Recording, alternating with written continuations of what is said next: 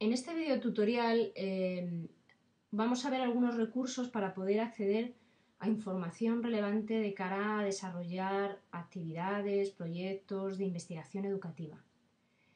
Os voy a mostrar algunos de los recursos más habituales y sobre todo cómo usarlos adecuadamente. El primero del que quiero hablaros es eh, la biblioteca de la universidad, de la Universidad Europea, a la que podemos acceder pues, desde la página web eh, www.web.es. Si nos vamos abajo del todo de la web, vemos como uno de los destacados la biblioteca. Entonces pinchamos en biblioteca y aquí tenemos el acceso a la biblioteca Dulce Chacón.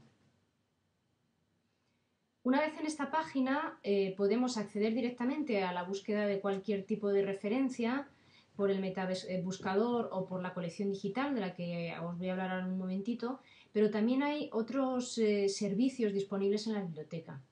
Y uno de los más interesantes es el, bibliotecario en línea, que es este servicio que está aquí a la derecha.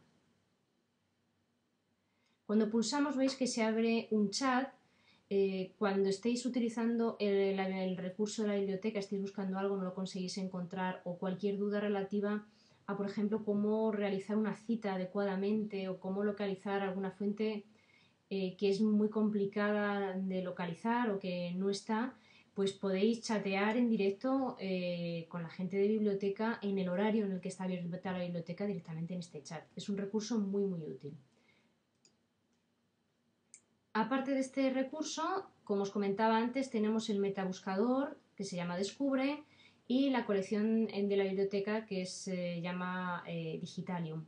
¿Cuál es la diferencia entre el metabuscador y la colección digital? Pues bien, el metabuscador no localiza fuentes únicamente eh, que estén en poder de la biblioteca, sino que consigue localizar información también en otras bases de datos, bibliotecas, o fuentes referenciales con las que la biblioteca tiene acuerdos. Es decir, que lo más lógico es que vamos a conseguir más cantidad de información si buscamos en el metabuscador. Si accedemos eh, a la colección digital, a, Digitalium, las fuentes a las que tenemos acceso son las de la biblioteca, es decir, son las que tienen su poder eh, ya sea porque son archivos físicos o archivos eh, electrónicos, pero están físicamente en poder de, la biblioteca. Entonces, bueno, os voy a enseñar cómo funcionan ambos recursos. Para entrar en la colección digital directamente le damos a acceder. Nos vuelve a decir que podemos acceder al catálogo de la biblioteca o al metabuscador. Vamos a darle al catálogo de la biblioteca. Aquí realmente tenemos una búsqueda eh, muy sencilla, eh, como la que podríamos hacer, por ejemplo, en Google, es decir, que podríamos incluir cualquier término del que estemos buscando, por ejemplo, educación especial. Le damos a descubrir y nos saldrían todas las fuentes que incluyen este término entre su, en su descripción, ¿de acuerdo? Eh, lo interesante de, esta devolución es que primero nos dice cuántos resultados hay que contienen eh, este término, eh, nos está indicando que hay un total de 77 y nos muestra los 25 primeros. Hay más páginas para mostrarnos los demás. Pero uno de los aspectos más interesantes de esta página es que podemos filtrar. Podemos filtrar, por ejemplo, por disponibilidad, es decir, aquellos que están físicamente en la biblioteca y que podemos sacar con nuestro carnet. O podemos seleccionarlos por materia, por título, pero uno de los eh, filtros más interesantes es filtrar por formato, es decir, por ejemplo, si estamos haciendo la biblioteca eh, online desde fuera eh, de Madrid o fuera de Valencia, fuera de cualquiera de los centros de la universidad, podríamos acceder a los ebook o e-artículos, que son recursos digitales, a los que podemos acceder sin problema, sin necesidad de tener que sacarlos con ningún tipo de, carnet. Veis que le he dado a ebook y automáticamente todas las entradas que tengo son, en este caso ya no son 77, son 38, pues me dice que son ebook, se identifican con este símbolo del libro y la E, ¿de acuerdo? Y para acceder a ellos tan solo tenemos que pulsar en solo eh, usuarios autorizados porque solamente está disponible para alumnos y profesores, aquí es donde tendríamos que incluir nuestras contraseñas de acceso.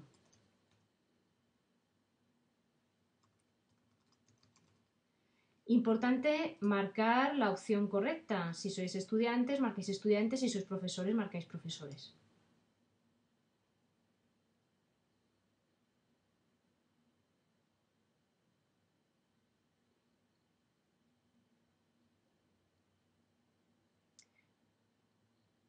Muy bien, pues esta es la publicación completa que hemos seleccionado. Podemos pasar las hojas, verla entera, podemos incluso utilizar las opciones de subrayar o añadir notas si lo que hacemos es darnos de alta, es decir, iniciar sesión en esta aplicación de e-libro. Podemos entrar sin necesidad de iniciar sesión o crearnos un usuario eh, aquí. ¿Qué ventajas tiene el, crearse un usuario y una contraseña en este servicio? Pues hay algunas de las publicaciones que permiten incluso ser descargadas y luego podemos guardar eh, nuestros comentarios personales o incluso podemos ir subrayando el texto. En este caso no lo vamos a hacer.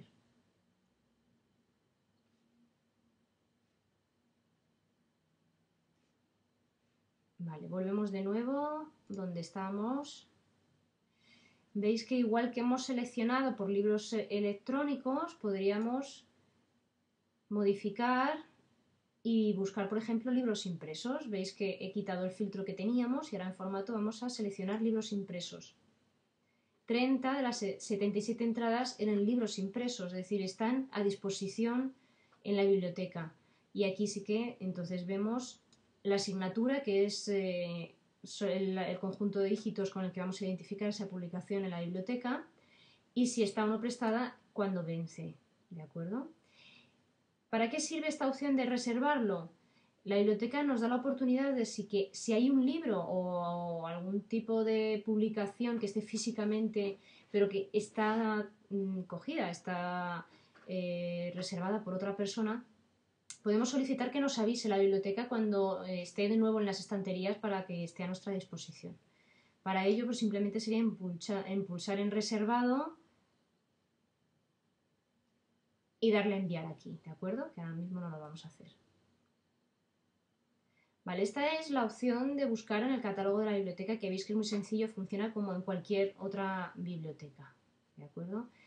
Eh, vamos ahora a ver un poquito el metabuscador en lugar de entrar a busca, entraremos a descubre. También se puede acceder indicando la dirección completa, es decir, descubre.wen.es. Vamos a hacer la misma búsqueda. Educación especial. Le damos a buscar.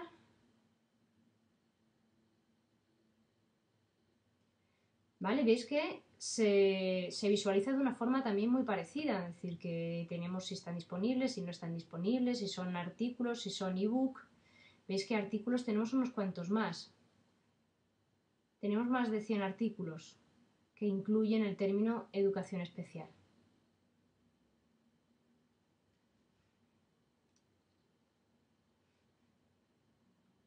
Si funcionan de una manera similar, ¿Para qué podemos usar? Eh, yo recomiendo usar principalmente el metabuscador, porque es más fácil que nos aparezcan más entradas eh, que nos interesen. Mm, de todos modos, es interesante también si nos buscar en el catálogo y si en el catálogo no encontramos nada, encontrar en el, buscar en el, en el metabuscador. Ahora, ¿qué sucede cuando estamos buscando información y con esta búsqueda que estamos haciendo en la biblioteca no hemos satisfecho esa necesidad? todavía necesitamos encontrar más cantidad de información. Pues en el caso de investigación educativa tenemos recursos eh, a los que acceder de forma habitual mm, porque es más fácil recuperar información. Por ejemplo, en este documento que os muestro aquí, eh, os enseño algunas, por ejemplo, bases de datos o buscadores especializados en investigación educativa. Algunos buscadores de información u otros recursos eh, disponibles en Internet. Estos ya son de acceso libre. Os voy a hablar de alguno de ellos, ¿vale? Por ejemplo, bases de datos y buscadores que son especializados. El Academic Search Premier es uno de los eh, más conocidos. Entonces, para poder acceder a ello, lo que os recomiendo es que desde el metabuscador, pues vamos a buscar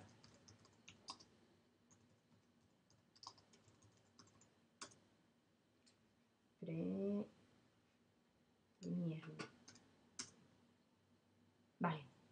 Veis que aparece, entonces decimos que sí, vamos a este recurso y lo que nos va a hacer va a ser abrirnos en una, pestaña aparte eh, este recurso, que es esta base de datos especializada en, en investigación eh, de tipo educativo. Entonces aquí vamos a funcionar de la misma manera que hemos visto anteriormente. Educación especial y le damos a buscar. Veis que aquí también existen los mismos filtros que hemos visto antes. Podemos buscar eh, publicaciones que tengan el texto completo. Si es que queremos verlas, eh, por ejemplo, accediendo desde casa, desde eh, otro lugar y queremos leer el, contenido completo en, PDF, suele estar, ¿vale? También podemos filtrar la fecha, es decir, si queremos que sea una fuente más moderna, pues podemos acortar, por ejemplo, del 2001 al 2012 y ahí vamos a filtrar las publicaciones que son más recientes. Podemos filtrar por temas, por materias, es decir, que tenemos distintos eh, filtros. Yo en este caso, los que os recomiendo que suelen ser más útiles es este que hemos, acabamos de utilizar de las fechas para poder buscar eh, fuentes más actualizadas y sobre todo este de texto completo porque nos va a poder permitir leer en el artículo completo el libro completo. ¿vale? Veis que cuando marcamos las que tienen texto completo, debajo de cada una eh, de las publicaciones pues nos aparece el simbolito de PDF, texto completo en PDF, al que podemos pinchar y acceder a esa publicación completa.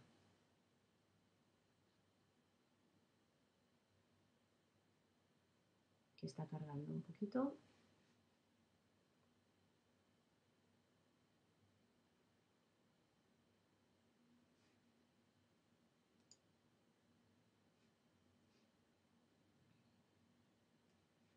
Esta tarda un poquito en cargar. Vamos a buscar otra, a ver si carga un poquito más rápido.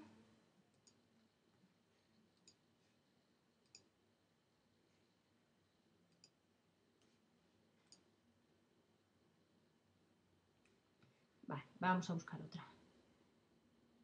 Es un poco más pesada, esta es un mega, vamos a buscar otra que ocupe un poquito menos. Esta, por ejemplo, que son 500K. A ver si carga un poquito más rápido. Ahí está. Vale, perfecto. Veis que si hay algo que tarda un poquito en cargar puede ser debido mm, precisamente al peso de, ese documento. Pero vemos, igual que hemos eh, analizado antes, podemos coger y, tenemos acceso al documento completo. Y aquí podríamos descargarlo, incluso guardárnoslo en una carpeta que se nos crea directamente en esta página, en la que podemos ir agrupando los artículos que nos interesan. Eh, sí que es importante eh, tener en cuenta que en este tipo de bases de datos que son especializadas, habitualmente podéis buscar en cualquier idioma, eh, pero con mayor frecuencia podemos encontrar más cantidad de entradas si localizamos en, inglés. Es decir, si en lugar de educación ponemos education,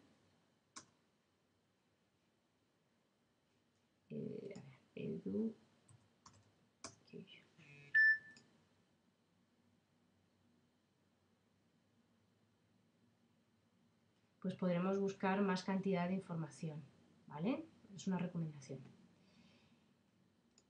Más fuentes. A ver, teníamos. Hay otras bases de datos que os recomiendo, como por ejemplo la base de datos del CSIC, Dialnet. Eh, este es un recurso en el que sí que podemos buscar eh, sobre todo artículos a texto completo en español. ERIC, que es una base de datos de educación. Eh, Factiva, que es un recurso multidisciplinar para poder eh, localizar información de actualidad, es decir, que podemos encontrar mm, información eh, de educación o de otras áreas. Y Teacher Reference Center, que también es una base de datos especializada en educación. La dinámica sería la misma que acabamos de ver. escribiríamos el nombre de cada una de estas bases de datos o buscadores especializados en el metabuscador, eh, porque bueno, con todos ellos tiene acuerdos eh, la universidad, entonces podemos acceder sin ningún tipo de limitación, de problema, acceder a artículos a texto completo, actualizados y sobre todo fiables, que es lo, que más nos interesa. Bien, aparte de de esto, eh, también os quería comentar, em, no todas las revistas especializadas eh, tienen la misma importancia en un contexto científico, es decir, que no todas tienen el mismo impacto. Cuando hablamos de impacto es cuando eh, muchos expertos o muchas personas están hablando de, esa revista, es decir, cuando mucha gente dice que esta es una fuente fiable, eh, obviamente nos vamos a creer más que es una fuente fiable que cuando hay menos gente que lo dice. Entonces, mm, realmente por un proceso estadístico, matemático, se establece un índice de impacto para cada una de estas revistas y se hace un ranking anual acerca de cuáles son eh, las publicaciones científicas con mayor índice de impacto. Y hay un listado, que es este que os muestro aquí, en el que bueno, vienen listadas eh, hasta el 2010 eh, las revistas con mayores índices de impacto especializadas en educación. Realmente es un listado en el que viene el nombre de cada una de las revistas, cuál es ese índice de impacto que presentan, y bueno, otra eh, serie de, datos estadísticos como qué total de artículos tienen, cuántas veces han sido citados, cuáles de esas citas han sido nacionales o internacionales.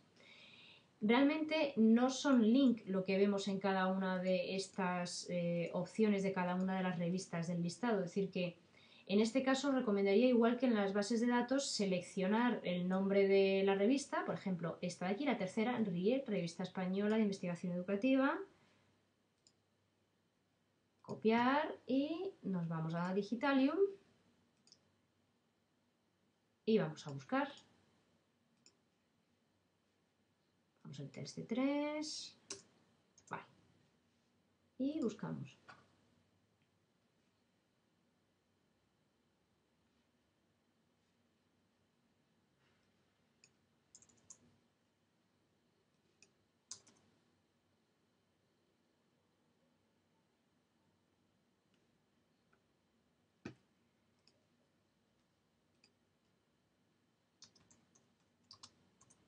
Si tenéis problemas para encontrar esta revista en el metabuscador es porque la biblioteca no tiene un acuerdo directo con esta revista. Entonces, ¿qué es lo que podemos hacer en estos casos?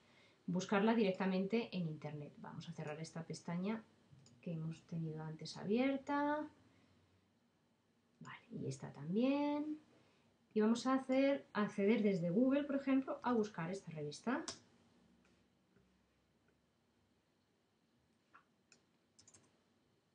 Normalmente todas las revistas tienen una página web, entonces va a ser fácil. Veis que aquí está el link, revista de investigación educativa, pertenece a la Universidad de Murcia. Y esta es la página de esta revista. La mayoría sí que permiten el acceso a las publicaciones completas, entonces no tendréis problema tampoco en poder buscar. Y cada una de las páginas de cada una de estas revistas con las que la universidad no tiene acuerdos, pero sí que están disponibles a través de Internet, suelen tener un sistema de, mm, para poder buscar o localizar publicaciones. Por ejemplo, esta vía, esta em, barrita de, búsqueda.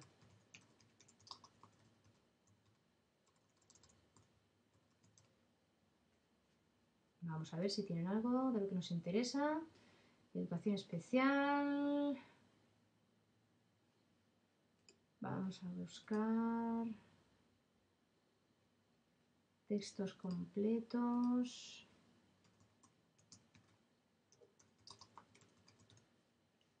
Educación especial.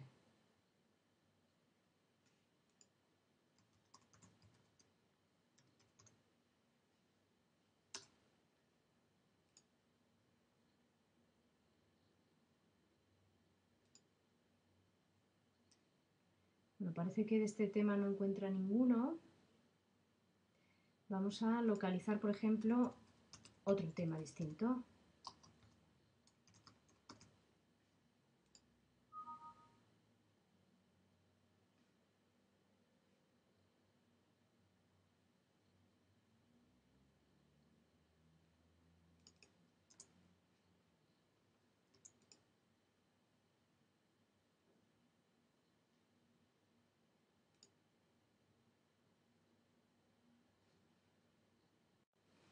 Bien, si en este tipo de páginas vemos que la barra de búsqueda no funciona especialmente bien, podemos navegar por las opciones que nos dan de buscar por número, para buscar los números más actuales. Eh, si estamos buscando algo muy concreto, podemos localizar eh, lo que buscamos por el autor o quizá lo más interesante sea buscar por, título. Eh, como nos aparecerán unos cuantos títulos, lo que sí que podemos hacer es en cada una de estas pues darle al control F que nos va a permitir buscar dentro de esta página y por ejemplo localizar aquí creativo es un término, entonces sabemos que tenemos un artículo que se refiere a creativo y podríamos acceder aquí al PDF. Es un truquillo para poder acceder a la información si vemos que no nos lo ponen tan fácil para poder localizarla. Bueno, este es un ejemplo de una de las revistas que tenemos, pero bueno, hay, hay un montón más. Eh, yo recomiendo sobre todo las primeras, pero principalmente las que más se ajusten al tema del que estéis localizando información. Vale, aparte de esto que hemos visto, de las eh, bases de datos, eh, buscadores especializados y revistas específicas,